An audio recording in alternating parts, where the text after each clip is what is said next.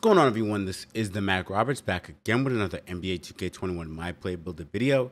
And today we're going to be taking a look at the best Hassan Whiteside build. Okay, this is something I don't really do for build videos, but I'm going to go completely off script. Is Hassan Whiteside good? And for that matter, has he ever actually really been good? I know everybody's going to hear this and say Mack is crazy, but level with me on this one.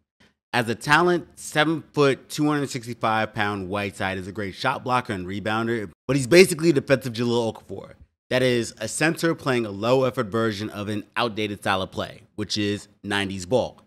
Whereas Jahlil Okafor would have been a really good post player in the 90s, Hassan Whiteside would have been a solid defender a la Dikembe Mutombo, but like a step down. So he'd be like, I don't know, Shawn Bradley. Not really Shawn Bradley, a step up above Shawn Bradley but a really good shot blocker, and that's kind of it, and rebounder, and that's kind of it. He's known for his Dwight Howard style volleyball swats into the stands, but what separates him from prime Superman, and it's the reason why Dwight Howard has multiple Defensive Player of the Years, and Hassan Whiteside, even in his best season, was trying to fight to get to all defensive teams, is that Dwight Howard's blocks would equate to stops.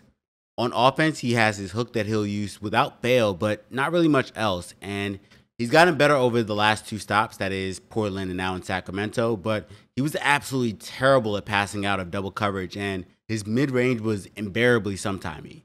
Even this year in Sacramento, Whiteside was the best of both worlds type of player in a way that you really don't want to be. He wasn't the shooter that Marvin Bagley was, and that's actually saying a lot because Marvin Bagley was not a knockdown shooter this season. But he also wasn't the defender that Richaun Holmes was.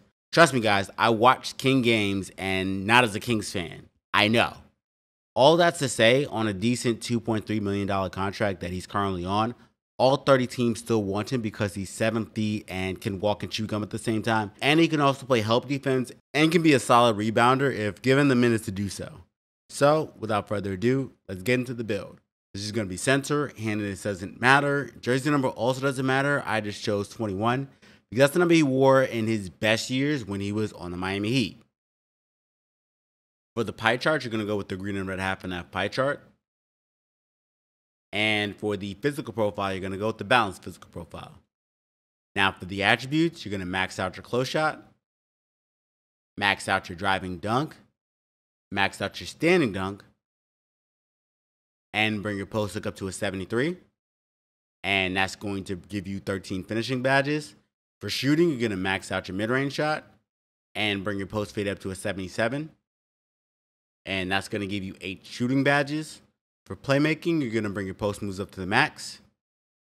Unfortunately, you're not going to get any additional playmaking badges. And for defense and rebounding, you're going to bring your interior defense up to the max, bring your perimeter defense up to a 48, bring your block up to the max, bring your offensive rebounding up to the max, and you're going to max out your defensive rebounding. And that's going to give you 20 defense and rebounding badges. So 13 finishing, 8 shooting, 1 playmaking, and 20 defense and rebounding badges is a total of 42 badges. Body shape doesn't really matter. I'm just going to go with defined. Height is going to be 7 feet. Weight is going to be 265 pounds. That is Hassan Whiteside's actual height and weight. And for the wingspan, you're going to go with a 91 inch wingspan. So at 99 overall, you're going to have an 88 close shot, a 60 driving dunk, and an 85 standing dunk with a 77 post hook. For your shooting stats, you're going to have a 74 mid range shot, a 60 free throw, and an 80 post fade. For your playmaking, you're going to have a 76 post moves. And for your defense and rebounding, you're going to have an 89 interior defense, a 93 block, an 85 offensive rebound, and a 93 defensive rebound. Your physicals at 99 overall with the gym rat badge are going to be 63 for speed, 58 for acceleration, 63 for vertical, and 85 for strength. For the takeover, you could go with either takeover. It's completely up to you. I'm actually going to go with the glass cleaner takeover though, because even though he's a great shot blocker, he actually led the league in, rebounds. So that's why. But again, both are pretty solid for Hassan Whiteside. And the build is complete, and you have built a glass cleaning lockdown, shades of David Robinson, Jonas Valanciunas, and Jarrett Allen.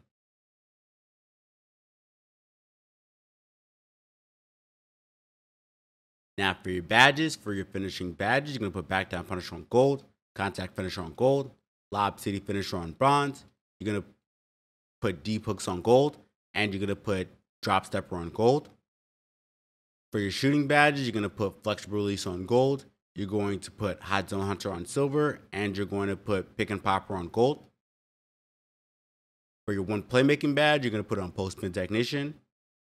And for your defense and rebounding badges, you're going to put box on gold. You're going to put chase down artist on silver, intimidator on gold, moving truck on silver, post move lockdown on silver, rim protector on gold, rebound chaser on gold, and you're going to put worm on silver. All right, everyone, this has been the best Hassan Whiteside build.